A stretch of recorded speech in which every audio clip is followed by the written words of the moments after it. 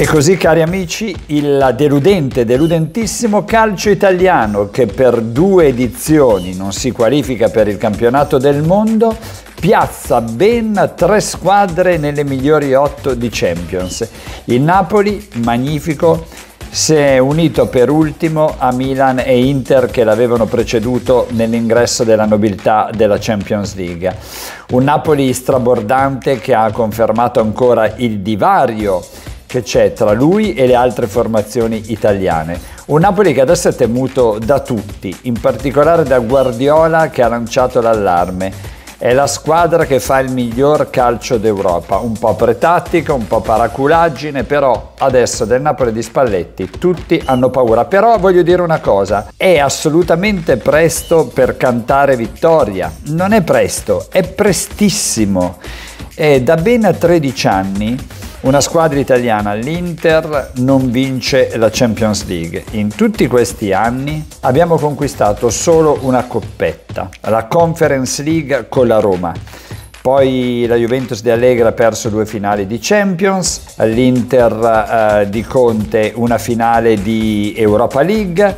Eh, insomma, eh, non dico che non si debba rialzare la testa, però dico che quello che sta succedendo e che si possa andare ancora avanti, aspettiamo i sorteggi, sembra più un'eccezione che conferma la regola di un calcio in crisi senza riforme. Perché per poter dire che stiamo uscendo da questa crisi ci vorrebbe un po' di continuità, altrimenti si rischia di fare come aveva fatto la Roma allenata da Di Francesco stagione 2017-2018 è arrivata in semifinale di Champions League battendo il Barcellona, si è fatta buttare fuori dal Liverpool, pure in rimonta e poi da lì non c'è stato più nulla. Eh, né per la Roma né per il calcio italiano non eh, c'è più stato un seguito. Fatemi dire una cosa sul passaggio del turno eh, dell'Inter con il Porto. Viva l'Inter perché è una squadra italiana ma ehm, la formazione di Simone Inzaghi ha disputato una gara molto molto difensivistica, timorosa, il livello di Porto Inter non era da gara di Champions League, era forse forse da garetta di Conference League. Una squadra modesta, quella di Sergio Consessao, diciamo la verità, e l'Inter è riuscita a capitalizzare il gol dell'andata difendendosi. I portoghesi si sono svegliati soltanto su minuti di recupero, l'Inter ha avuto un po' di fortuna, ritmo della gara da parrocchia e quindi se fossi nell'Inter starei piuttosto prudente nel cantare vittoria, un po' come vi dicevo prima sul calcio italiano che non ha ancora certo rialzato la testa definitivamente. Bene ha fatto Simone Inzaghi però in conferenza stampa a togliersi qualche sassolino dalla scarpa, a citare Conte senza nominarlo, perché Simone Inzaghi secondo me eh, è vero, il suo calcio è piatto, è sempre uguale, i cambi sono sempre gli stessi, la squadra non è mordente, però eh, su di lui c'è un fuoco di fila della critica, a mio avviso, con la complicità inconsapevole, non so fino a che punto, della società, che non va bene. E comunque poi eh, per legare tutti insieme questo momento del nostro calcio bene, ma non esaltiamoci, non dobbiamo mai dimenticare il livello del nostro campionato. Guardate l'ultimo turno, il Napoli lo sta dominando passeggiando. Nell'ultimo turno i suoi avversari non è la prima volta, si sono autoeliminati da quella che poteva essere ancora una corsa virtuale, ma si sono autoeliminati in modo definitivo. L'Atalanta ha perso con il Napoli, l'Inter ha perso con lo Spezia, la Roma con il Sassuolo, la Lazio ha pareggiato col Bologna, il Milan ha pareggiato con la Salernitana. Adesso vi parlo di un tema incredibile che vi dimostra quanto sia stata fallimentare in questi anni la politica della Juventus sul mercato con le idee confuse. Sapete per ogni minuto giocato, pochissimi perché sono 35 in tutto, quanto guadagna il signor Paul Pogba? Bene, tenetevi forti, 200.000 euro al minuto, quindi fate voi il conto con i suoi 35 minuti giocati, minuti pagati a peso d'oro.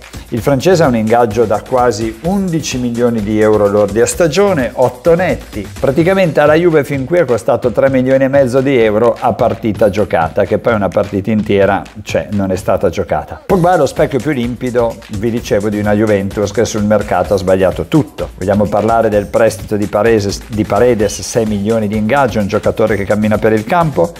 Voi direte sì, ma Di Maria si salva. Di Maria va i 30, a 35 anni, guadagna anche lui 6 milioni più bonus. Non sono operazioni futuribili. Certo è che la Juventus di Andrea Agnelli aveva proprio perso letteralmente la testa in queste ultime stagioni. Ma in verità fatemi concludere con una chiusa che al bar ci sta benissimo. Sono completamente contrario in disaccordo con le scelte di Mancini. La nazionale oramai è diventato un grand hotel svilita non soltanto da una qualificazione mondiale mancata, fatti fuori dalla Macedonia, ne abbiamo parlato, raccontato, si è già detto di tutto. E Mancini si è lamentato perché mancano attaccanti italiani, in particolare con i due prossimi impegni per le qualificazioni a Euro 2024 della prossima settimana, Immobile infortunato, Raspadori è infortunato, però Mancini sta veramente trasformando questa nazionale nel Grand Hotel neanche tanto di lusso. Ha fatto centinaia di convocazioni, più lui di tutti gli allenatori che ultimamente l'hanno preceduto e adesso si è è ricoperto di ridicolo convocando Matteo Reteghi, classe 99, attaccante argentino del Boca Junior in prestito al Tigre. Sarà un attaccante che segna, ha origini italiane, però ragazzi, cioè, ma vuol dire che la nazionale non conta più niente, perché l'attesa, i meriti, ma poi in nazionale ci devono giocare finché si può, finché ci sono degli italiani, è vero ce ne sono pochi, però c'è Gnonto, c'è Pinamonti che tra l'altro sta facendo bene, c'è la, la scelta di convocare Reteghi, è un attacco al merito e ai pochi calciatori italiani che già vengono emarginati, fra virgolette, dalle invasioni degli stranieri. In più Mancini cosa fa? Convoca un argentino per la nazionale.